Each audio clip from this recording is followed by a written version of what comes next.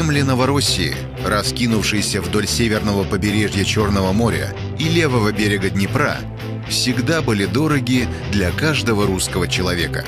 В дни тяжких испытаний истинные русские богатыри всегда вставали на защиту этой земли, не щадя себя и своей жизни. Сегодня в Новороссию опять пришел враг, и на ее защиту встали новые, современные богатыри. История о настоящем спасателе. Ополченец Донецкой Народной Республики с позывным «Моторола» известен многим, но никому не известно его настоящее имя и детали биографии. По его словам, лишняя публичность ему ни к чему. Как меня зовут, не скажу. Кому надо, тот знает.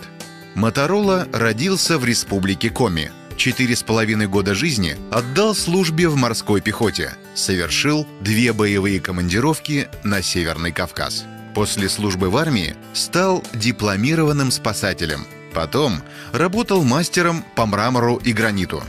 И, э, у меня несколько профессий. Есть официальная, которая вот именно обучился с дипломом. Это ну, дипломированная профессия, это спасатель.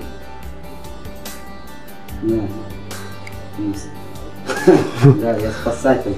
Ну, вообще, короче, работал я и экструдерщиком, ну, делал, ну, на производстве работал. Но сейчас последняя моя профессия это мраморщик граничник. Ну, ремесло, ремесленник. Последний год. Ну, делаю памятники. Моторола понял, что Украину ждет война, когда в Киеве в сотрудников Беркута полетели первые коктейли Молотова. А когда нацисты совершили переворот и начали геноцид на юго-востоке, он просто сел на поезд, приехал в город Ясиноватое и нашел бойцов народного ополчения. Сел на поезд 4 месяца назад. И приехал, приехал Есиноват.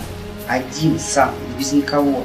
Никакого там, никто меня не приглашал, никто мне не обещал дать оружие в руки.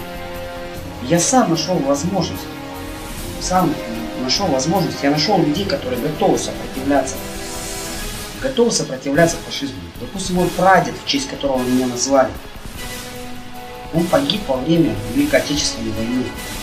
Благодаря боевому опыту Моторола быстро стал заместителем командира пулеметно-гранатометной роты и командиром отдельного противотанкового спецподразделения.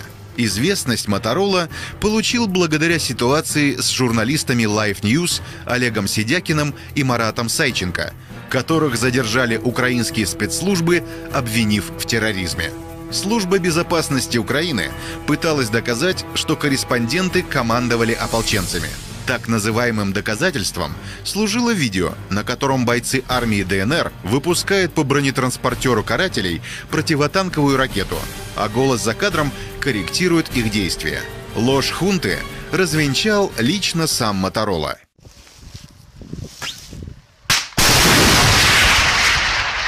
Веди, веди, веди, веди.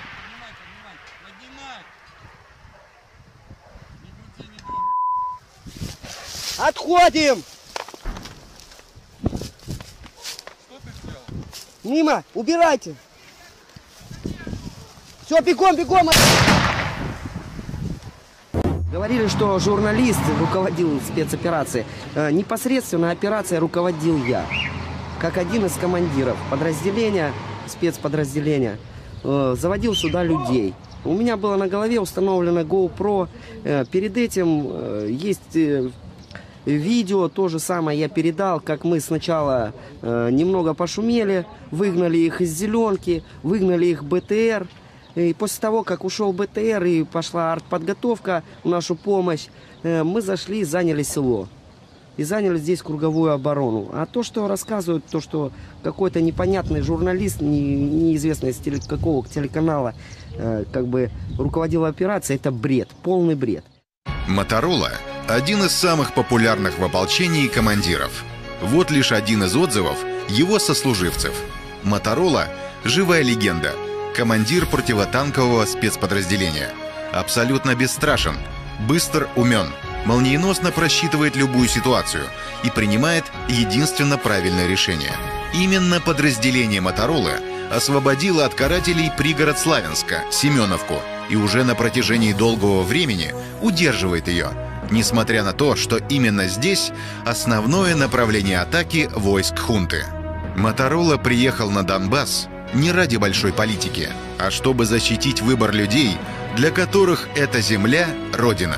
Люди уже приняли решение.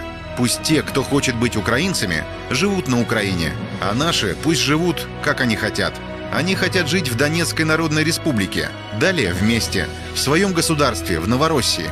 У меня нет никаких политических целей, кого-то к кому-то присоединить. Смешно это. И не нужно. Моя задача – защитить народ, который сделал свой выбор. Такие люди, как Моторола, сражаются не за медали. Они готовы отдать свою жизнь за своих братьев по крови и вере, не требуя ничего взамен. Ибо сказано, нет больше той любви, аще кто положит душу свою за други своя. Мы все готовы, готовы умереть, стоять за свою землю до конца. Ну, без разницы, важно нам победить и все. По-другому не надо. У нас есть задача на ней.